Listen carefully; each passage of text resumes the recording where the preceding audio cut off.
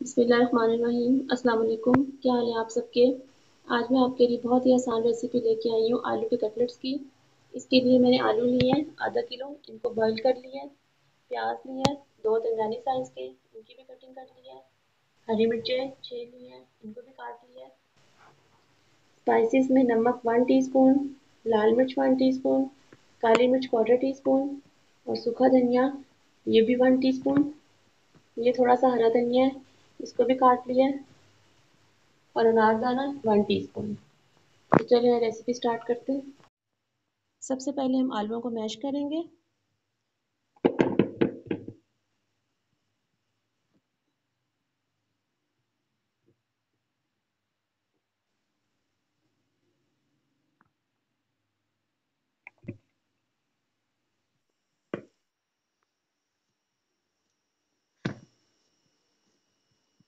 ये देखिए, आलू मैश हो गए।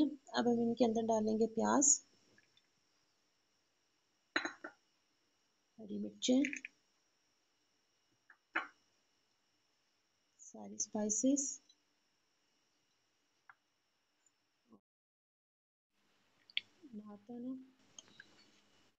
सारी चीज़ें हमने डाल ली हैं, तब इन्हें हम अच्छे से मिक्स कर लेंगे।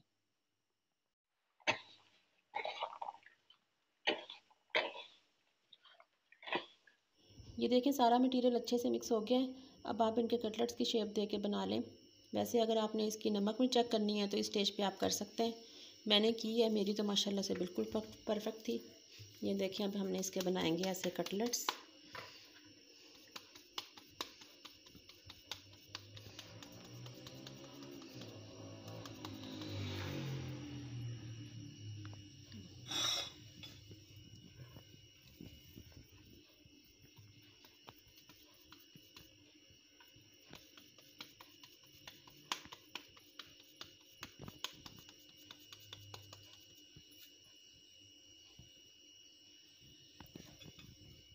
इसी तरह आप सारे बना लें।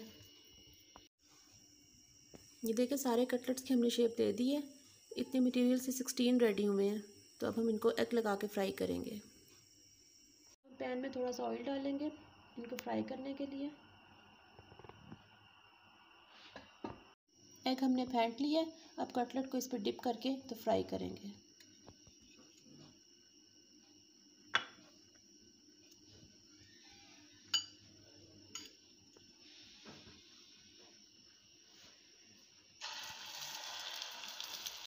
एक साइड से फ्राई हो गए अब हम इनकी साइड चेंज करेंगे।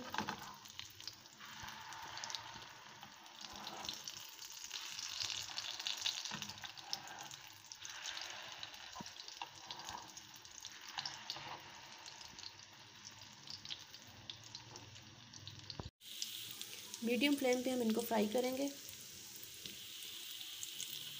कटलेट्स फ्राई हो चुके हैं, अब हम इन्हें प्लेट में निकालेंगे।